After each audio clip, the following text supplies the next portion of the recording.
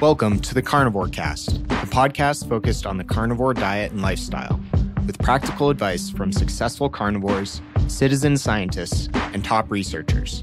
I'm your host, Scott Myslinski, and I'm here to speak with experts and experienced carnivores to get answers to your biggest and meatiest questions while helping you live your best life as a carnivore. If you enjoy the show, please consider supporting the Carnivore Cast on Patreon. By becoming a patron, you'll help us reach more people and continue to create content on carnivore. There are also exclusive perks available, such as private Q&As, consultations with me, and more. Become a supporter at patreon.com slash carnivorecast. Check the episode description for the link. Thank you, and I'll see you there.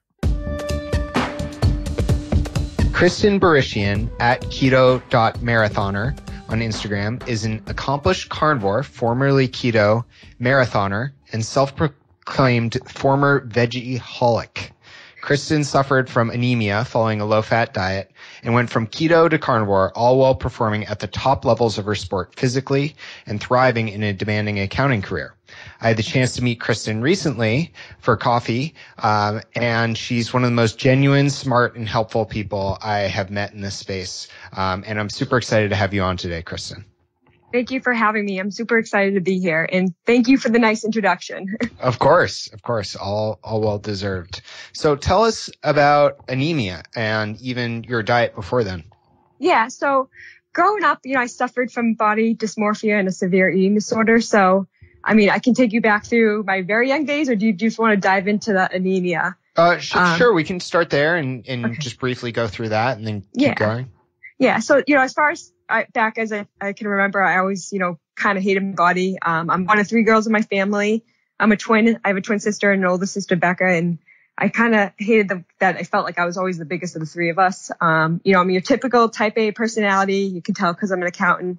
Um, you know, so I was kind of very hard on myself. So in high school, yeah, I had anorexia. So I kind of had a revolving door experience with the hospitals. Like I think I was hospitalized about three times from sophomore year to senior year, you know, mainly due to a low heartbeat for not because I wasn't eating my, uh, myself. So in college, you know, I had to get weighed weekly by the nurse. So one day my, my weight was low and my vitals were off. So the nurse called my mom and just said I need to leave school. So I remember just like begging them to let me stay. So that was kind of the wake up call that I needed to say, you know, my mom basically told me, you know, if you get kicked out of school, um, you know, I was going to go back. So, and that's when I really made the decision that I wanted to get better because I didn't want this affecting my life more than it already had.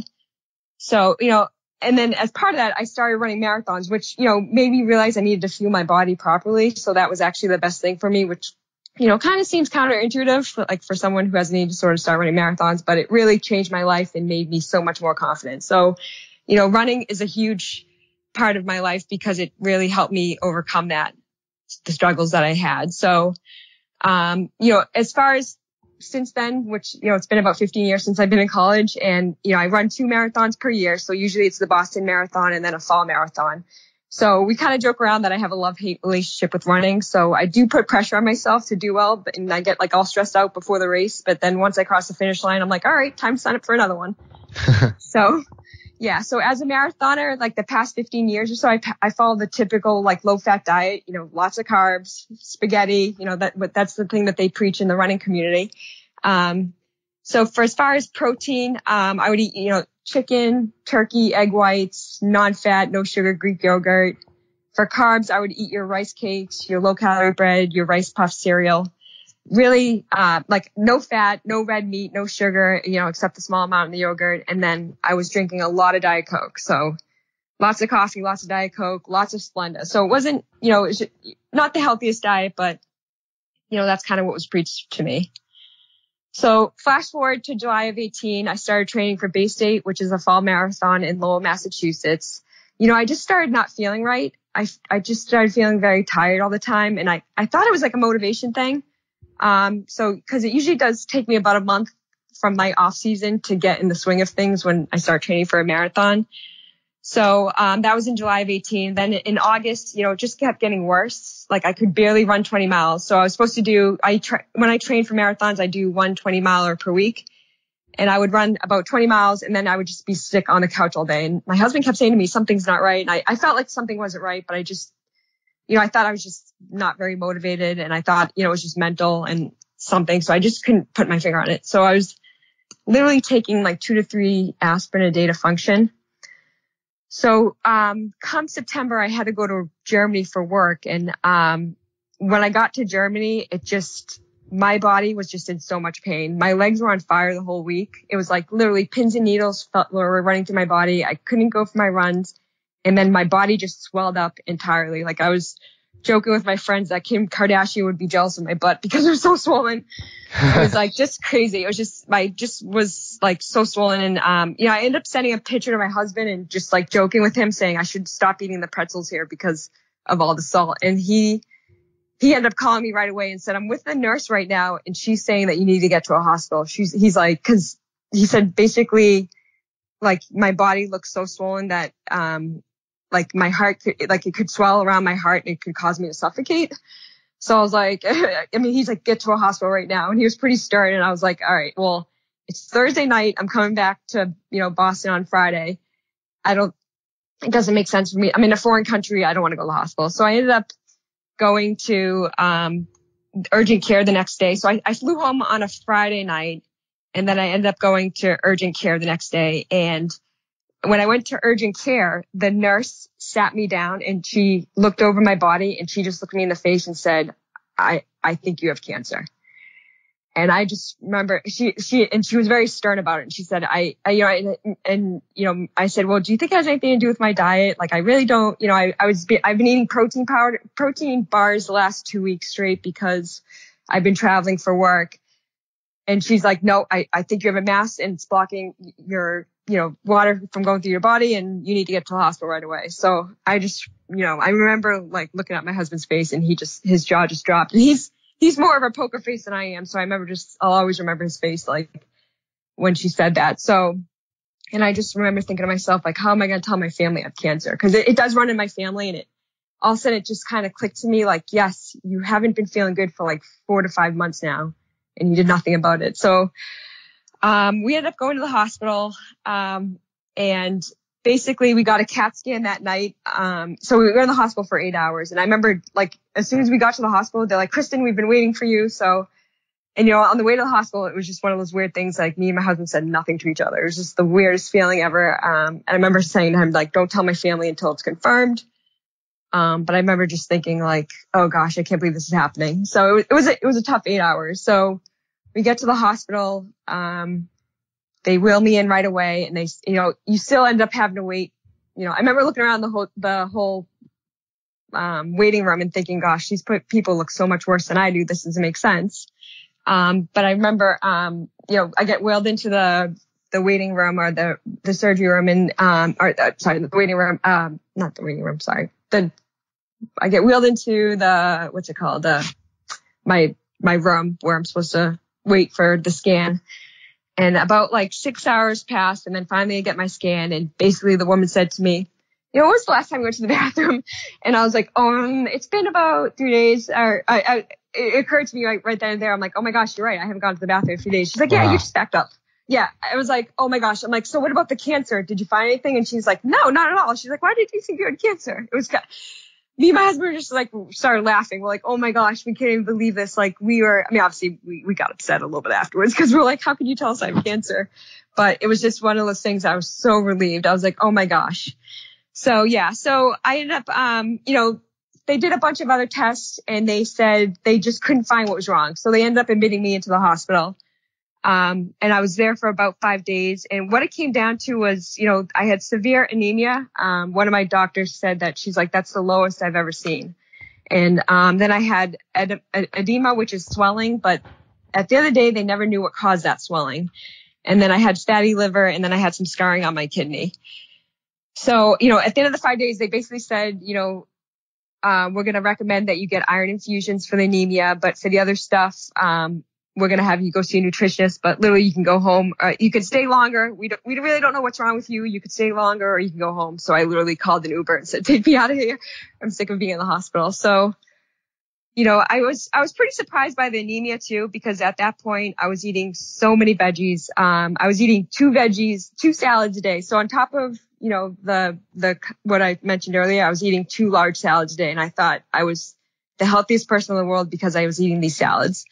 So, and I literally was eating a bucket of spinach per week and broccoli. And then I was also eating some iron fortified cereal. So I was, I was very much a volume eater. So I thought that was, um, I thought I was healthy. I mean, I thought because I was getting my protein and because I was getting, you know, my carbs and because I was low fat, I thought low fat was the way to go. Um, so I was kind of surprised by the anemia, but, um, you know, that's what I was diagnosed with. So I was told that I couldn't run the Bay State Marathon that year. So I ended up sitting on the sidelines. You know, my health was my priority. So for the next 10 weeks or so, I had to go to the hospital once a week to get these iron infusions to get my iron levels back up. Um, so when I got back home, you know, one of the recommendations that my doctor made was you should really start eating, you know, red meat because it has iron and, you know, liver as well. So when I got back home, I started Googling diets about the iron and came across keto. You know, I listened to Dr. Eric Berg and Logan Sneed. So I, you know, I made the decision to try keto, which was super scary for me because I feared fats and red meat, but it definitely worked miracles for me. Like I found it made me less anxious and I felt healthier. So, um, you know, I did suffer some of the symptoms in the beginning with the keto flu and stuff, but I ended up loving it. So, so once January came around, so I ended up doing keto from November to December. Um, and then once Boston, once January came around, I started training for the Boston Marathon. So I would do keto for five days. And then on Friday and Saturday before my long runs, I would eat the higher carb foods. And I would just feel so anxious on those two days that I ate the higher carb foods. Like really just, I would be fine, you know, Monday through Sunday through Thursday. And then Friday, Saturday, I would carb up and I would definitely feel it. So I didn't love it, but I felt like I needed the carbs as a runner. So I ended up running Boston. And then after Boston, uh, from April to June, I went back to keto with no carbs up, felt awesome. And then come October, uh, July, I, I was, I decided to sign up for Lowell again. So that was the marathon that I couldn't run the previous year. And it was going to be like a revenge marathon for me since I was able to run it the year before. And I'd made the decision to do it 100% keto. So again, still eating my veggies, um, you know, two, two bowls of salad a, a day, lunch and dinner. And I, I literally was, um, so I would have a bulletproof coffee in the morning, have my lunch, which was veggies and meat on top and some oil and pretty much the same thing for dinner. Um, so I ended up, um, and then on Saturdays before my long run, I would have like a keto brick, which we all know from Keto Savage's company. I would have one of those before my run, half of one pretty much. Um, and then, um, so I ended up running Lowell and I felt amazing doing 100% keto. Um, you know, I did, I did kind of panic the night before and said maybe I should eat a dozen bagels or something to get the carbs up, but that, you know, my husband talked me out of it and he, he wanted to make sure I mentioned it that he talked me out of it and I, and I felt great. I never felt so awesome before long run or before a marathon. I just, um, you know, so I ended up running Lowell, ran a great marathon and then, um, you know, so that was in October and then you know, five days before Lowell, I actually did without the veggies. I always, because I would always eat so many veggies, I was always bloated, always had digestion issues. And I just said, before my races, I don't do veggies. And I felt awesome. And I was like, you know, I started recently hearing more about carnivore. Like I follow the Strong Sisters. I think they're awesome. And I, I, I just love them. And even though I wasn't doing carnivore, I was still following them.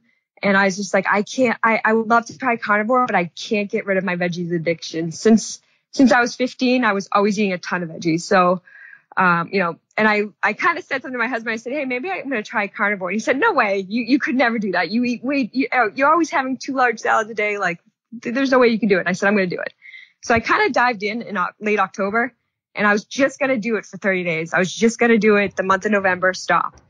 Um, so, so I ended up, um, I made the decision like late October. I'd got to say like, like October 20th. And then I decided, you know, eat all my veggies that were in the house and then dive right in. So I did that. And then I ended up doing it pretty much through December as well because I felt so awesome. Um, and you know, I thought I was going to be hungry because I was, I've always been a volume eater, but it, it ended up making me feel so much better. So, so yeah, so I decided that, um, I'm going to run Boston Marathon this year, first time as a carnivore keto person. That's so, awesome. um, yeah. So literally, you know, I've been doing carnivore for two months now and I wake up feeling alive. My anxiety's down. My skin feels amazing. I'm just happier. I don't think about food all the time. Um, it made me a better worker. Um, since then I've, I've decided to focus on like keto companies. So I've been connecting with a lot of keto, keto companies, you know, being a CPA and just, it's been fun for me to do that. Um, you know, my iron's back up and really no di- digest- digestion issues as well. So it's been a, it's been a, I wish I discovered this diet 15 years ago. So that's yeah. kind of where I stand now. So yeah, so it's now January 1st. I start training for the marathon in mid January. Very so, cool. Yeah. Yeah, sorry. Just no, that's that's awesome. Thank you for sharing all that, Kristin. Um, that takes a lot of courage, and um, I'm just uh, so many questions come to mind. Um, but one is with with that health scare you had in, in the the anemia and the hospitalization. Had you previously had anything like that that had made you think, you know, maybe there's something wrong with this diet or, you know, had you had other health problems or, or any biomarkers that, that looked out of whack or anything like that? Or was that really a massive wake up call? Um, so actually, I have something to tell you. So prior to me being hospitalized, I actually hadn't gone to the ho- I hadn't gone to the doctors in about five years. so funny story, my doctor actually dropped me. I had to call her and beg her and say, please take me back. And she's like, well, I have no openings, but okay. And she's like, well, you haven't been here in five years. I was like, oh, I thought I was the perfect patient. You haven't seen me in five years. That means I must be healthy. Huh. So if I had any warnings, you know, I kind of had little bouts of tiredness here and there. But um, so that was the funny thing. We could we because I hadn't gone to the doctors in five years. I know that's terrible. Now I go every year. I promise. But I there was no there was nothing for me to compare it against too. So she's kind of said you could have been you know um, declining slowly over the past couple of years and not knowing it. Um, or she said it could have been a rapid decrease. So because because of that, not going to the doctors, like I really had nothing to compare it to. Um, so, but I, I you know, I don't know. I, I guess so. I, I yeah, yeah. I, I, guess there was no other signs. So for the past couple of years, so I think you know, the, well, the one thing she said to me was, "You'll never know how good you feel until you feel good." Mm. So I think, and I and that always resonated with me because it's funny. Every morning I come downstairs and I say to my husband, "I feel so awesome," and I'm like, "Am I being annoying now because I say that to you every morning? Because I because you don't know how good you feel until you feel good. It's just such. It's so true. So." I think, um, you know, I, me feeling so great lately, I just. Oh, you cut out there for a second, Kristin. Sorry about that. Yeah. So I, with me feeling so great lately, um, I just don't think I ever recognized any bad symptoms before. Like, so th- that's kind of. Yeah, that's, that's awesome. Um, and, uh, I'm curious, you know, how has, how has your maybe give to give folks um, some context? What are kind of what is a good marathon time for you?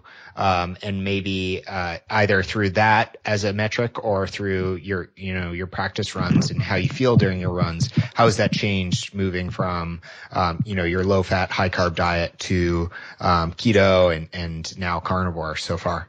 Yeah. So um, you know, as you get older, you do get a little slower. Sure, so I always, so I, I was getting, um, slower up until Boston this year. So I actually did about 335 last year. So I, so in my fastest days, the fastest I've ever run was 308 and that was down a hill in, in St. George, Utah.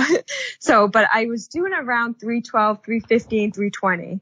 So, um, you know, but then about two years ago, I did 325 and then I did 330, I believe.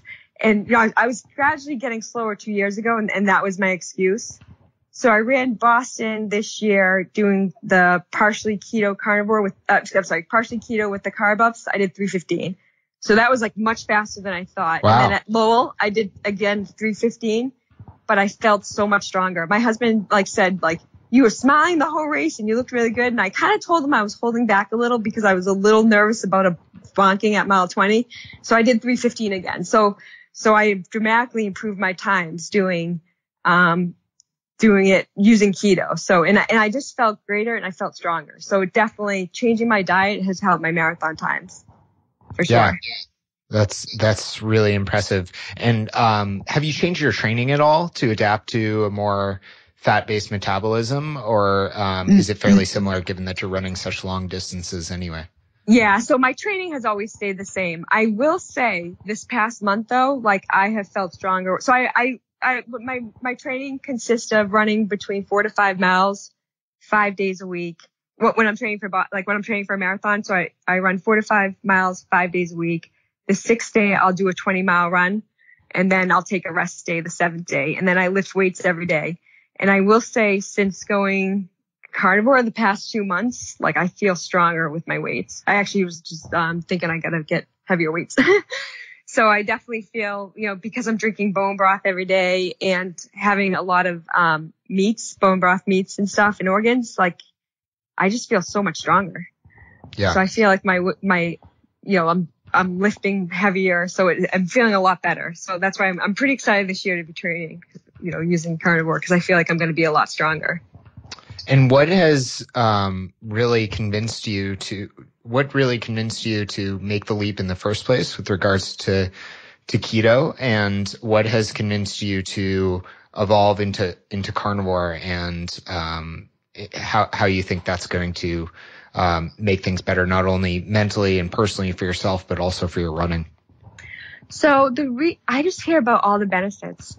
So, um, you know, when I first went keto, I was watching a lot of Dr. Berg and doc, you know, Logan Sneed's videos and, and yeah. all these great people. And, and I just, you know, I like that people said it would get rid of anxiety. Cause I mean, I kind of have a little bit of a high stress job and, you know, I put a lot of pressure on myself to do well. So I think I like the fact to get rid of the anxiety. So I kind of, you know, and, and I, to be honest, like in my past, I had tried low carb before and I thought it, you know, it, it made me feel good. I just didn't stick to it because I like bread.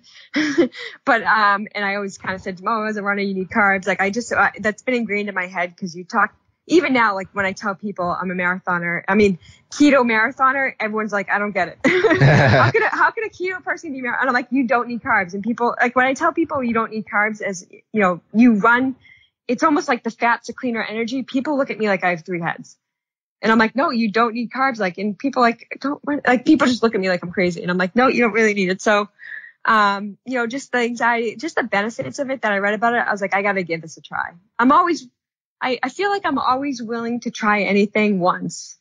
And if it sticks, then I'll stick with it. If it doesn't, then I'll, you know, what can you lose? So I, I think that when I heard about the, the benefits of it, that really lured me into keto and then just watching a lot of carnivore people. So the first time I heard about carnivore keto was, um, I watched, I think I wasn't able to go to KetoCon this year. I'm going to go, um, next year in, in 2020.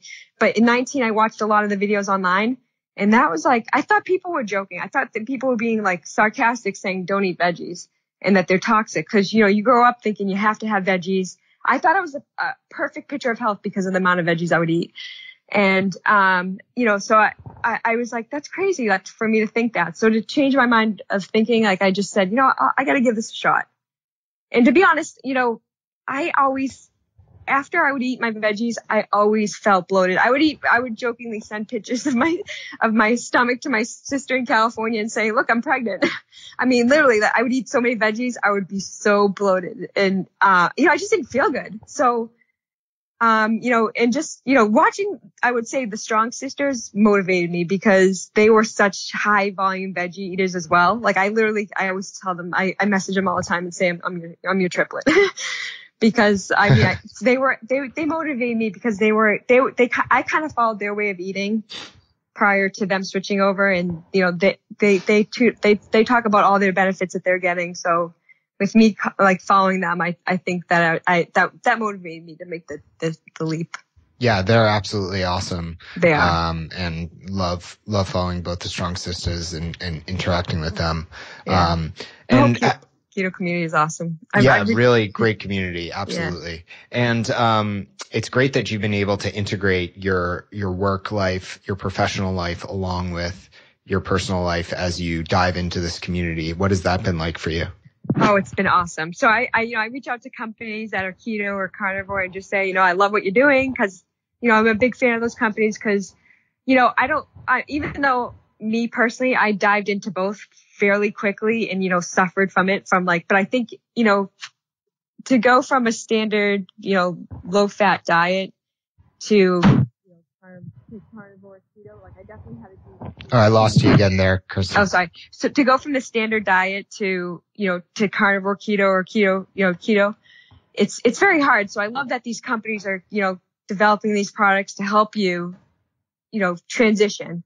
So I mean, yeah, it's at the end of the day, it's great to eat whole foods, but I think when I reach out to these companies, you know, I, I can because I know the space so well because I've tried these products and I've tried their competitors.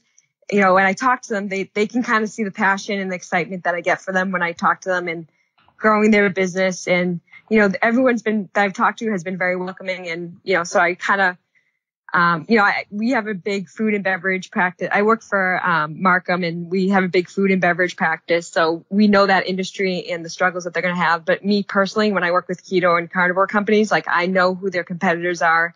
I know their product. I know, you know, the ingredients and if they're clean or not. So I can kind of talk to them about that stuff. And they, they, they, they've mentioned that they see the excitement that, you know, when they, as they're growing companies. So it's exciting to work with these companies just because I'm so passionate about that and I love what they're doing to help people you know, make healthier decisions.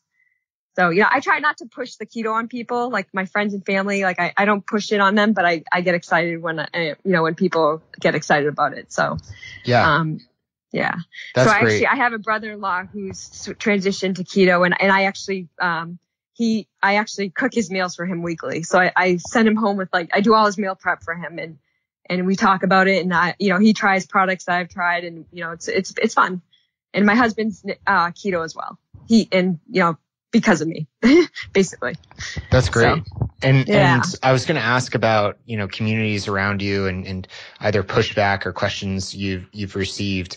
Um, maybe we could start with like the running community, other people you run with um, or know who are marathoners. Uh, what do they think of keto? Is it becoming more mainstream with athletes like Zach Bitter, um, or or is it still you know out in the fringes? The the main um, advice is you need higher carbs for things like marathons.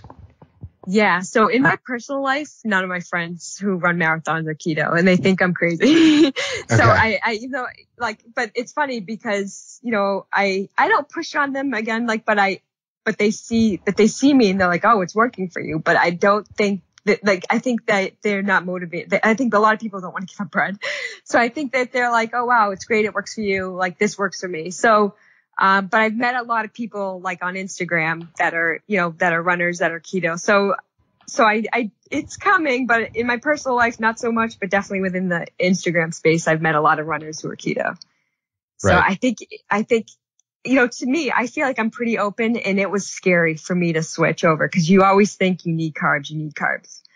So I, I get it. And I, I get it like when people don't understand me. So that's why I try not to push it too much. Yeah, I think that's a great policy. I think just be the example and, you know, people will ask questions is, is always the best philosophy. Um, and you talked a little bit about your family, but how about in your work life? Do your coworkers know about your diet? What do they think about it? Um, do they think you're crazy? You know, how does that work?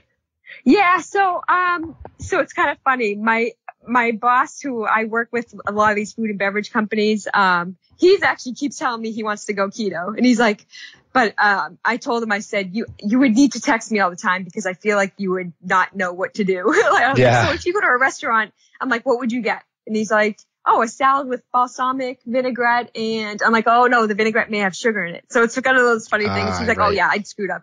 So he, my boss has kind of, he's got fatty liver as well. So I think he kind of, uh, wants to try it. Um, um, and then as far as my other coworkers, you know, again, it's one of those things that, um, well, it's funny because they always, my coworkers used to always make fun of me and how much salad I would eat.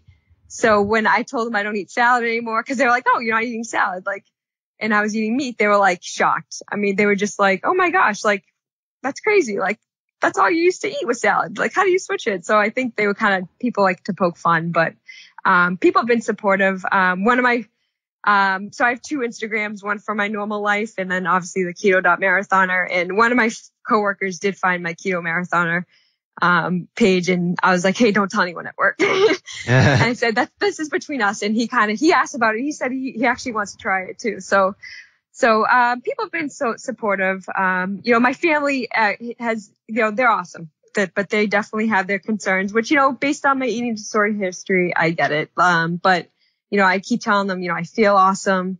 I'm happier. Um, you know, my husband has even told him, he's like, she's a different person. Like she's just so happy and she feels strong. And cause he used to ask me, he, my husband's very, very supportive of my running and he every day, how's your run? How's your run? And I, and for, for months back, you know, back in 18, I'd say, I feel awful. I feel awful. Now I'm like, I feel awesome. I'm like, I feel so strong. And he's like, yeah, I just see a difference. Like she just feels great. So, um, you know, as long as we keep telling them that, you know, this is, you know, they, they don't like the extreme of it, but I keep saying, you know, you know, it, it is what it is. And it, as long as I feel good, I think, you know, there, you know, they think that there's no variety, but there is kind of a lot of variety in the diet. Um, if you, cause I do the whole nose to tail, which we could talk about later, but, um, I think that there is a lot of variety and I think that if you feel good, do, do what works for you. Yeah, absolutely. Um, yeah, some of my coworkers know how I eat actually at most, and they think I'm totally crazy. But uh, you know, they they talk to me about it, ask me questions about it, and I don't try to push it on anyone, um, especially if if they are happy with their diet and their health. Um, yeah. But I, I think you know it, it's totally fine for for people to to know what you're doing, and and you know if if they want help, they'll they'll come to you. Um, so maybe let's talk about how you eat on a daily basis, Kristin. You know, what is what does a day of eating look like for you? How do you incorporate things like meal timing, organs, um, supplements around your lifestyle and, and your goals? Yeah, so um, it, so I basically do kind of what I was doing when I was doing keto before: two meals a day plus um, a bone uh, coffee in the morning. So I recently actually started adding bone broth so in the morning, I'll wake up, I'll go from, I'll do my run fasted, lift weights in my gym. So I have a gym at my house. Uh, we, we built, um, and then afterwards I'll drink a coffee with, um, cream and salt. And for some reason I like salt in my coffee now. So I actually don't do any sweeteners anymore. I've learned that if I have sweeteners, I'll crave sweeteners. So I got rid of all the sweeteners, even the stevia and the erythritol and stuff that people say are safe. Um, and I have to credit Judy um, nutrition with Judy for that because she just said one time she gave a talk and it was amazing and I was like, all right, I'm I'm not going to do it anymore. So that was a big that was a big addiction to get rid of. Um, so I'll do the coffee with the cream and Redmond real salt. Uh, I'll do bone broth. Um, so I'll heat up. I, I make bone broth like once every two weeks, and then I'll heat it up and I'll put um, five grams or ten grams of lemon um, cod liver oil, and then I'll add in some butter or ghee, and then I'll make like a bone broth latte. And I'm, I'm hoping that I'll eventually get rid of the coffee and just use the bone broth latte as like my hot drink in the morning.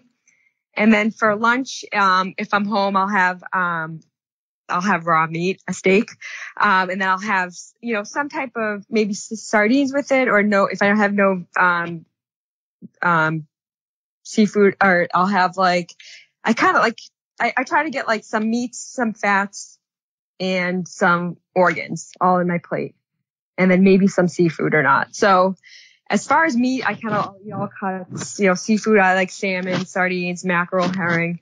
And then for organs, I, I make liver and heart jerky. Um, and then for, I actually ordered brains, and we can talk about that. Um, yeah. Frankie's free range meat. Um, and I know that sounds horrible, like hor- horrifying, but they actually don't taste like anything. Like I tell people they kind of taste like a cross between tofu, like a soft tofu and an egg. So, um, and then I love tongue. Tongue is amazing. It's, it's amazing. And then I love oxtail as well. Um, and then for fat, I'll either do like suet, bone marrow, egg yolks, tallow, butter. your your microphone's cutting out. Oh, sorry. Yeah. So I'll, I'll do for fat. I'll do either suet, bone marrow, egg yolks, tallow, butter, or ghee. And I try to do everything. Um, I know that there's a big you know, contention in, in the community, but like grass fed, I, I like the grass fed, gas finished. I like the way it makes me feel. Um, I recently bought a quarter cow. So, um, from a local farmer, which I, and she's amazing. She's been so, so nice to me. She's given me like a bunch of organs for free. Um, she, she kind of, she, she was asking me about the diet too. She's like, what are you going to do with all this liver? Give it to your dogs? It was kind of funny. So, um, are you there? Yeah, yeah. Okay, sorry. Yeah. So, so it's funny because she, I was like, she's like, what are you gonna do with this heart? Like, she's like, you eat this? Like, she was just kind of funny. So, so, so she was very nice. So she gave me a bunch of like liver and tongue and oxtail, oxtail for free and a bunch of suet for free. She's like, oh, I usually just feed this to the dogs. So, um, yeah, so, so I bought a quarter cow. So yeah, so we're pretty much all set for my tax season coming up as far as meats go. Um, and yeah. then recently I actually bought chicken feet for, for bone broth and I guess they, I guess you can cook them in the air fryer and it's like chicken wings. So um, I'm, I'm, I can not wait to try that. So I, I try to buy local too for my local farmers. So I live in Rehoboth, Mass, which is about 45 minutes from Boston. And there's a lot of farmers here. A lot, a lot of my neighbors have chickens. We had our own chickens, but, um, we we actually feed them grains, so I stopped eating our chicken eggs, and I I I, really like Vital Farms. Yeah, so that's yeah. great. That's yeah, so, sounds like a very well-rounded approach. Yeah, so like so I'll have like kind of like I call it like a, like um pretty much like a platter of different random sorts of food because I try to get all my nutrients in, and you know I'll do the same thing pretty much for dinner, and I really try to rotate my food just so I get a variety. Right. And how about um, around your workouts? Are you supplementing electrolytes at all? How do you manage your electrolytes? How do you think about that? So, um, as far as like supplements, so I take glycine. I, I like glycine. Um, and I do have collagen, although uh, it's because I, I have this bucket of Vital Proteins collagen that I have. And I think once I finish it off, I'm probably not going to buy it again because I drink so much bone broth.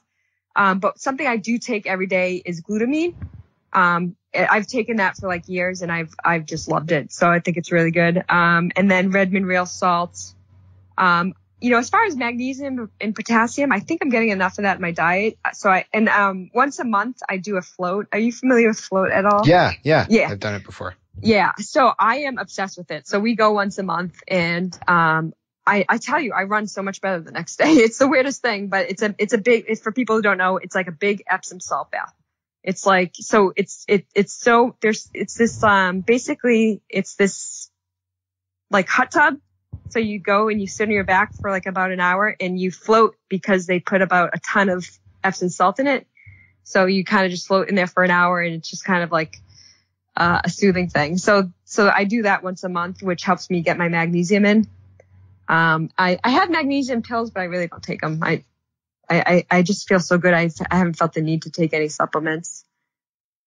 yeah. What is that? Yeah, that makes sense. That's similar to my approach.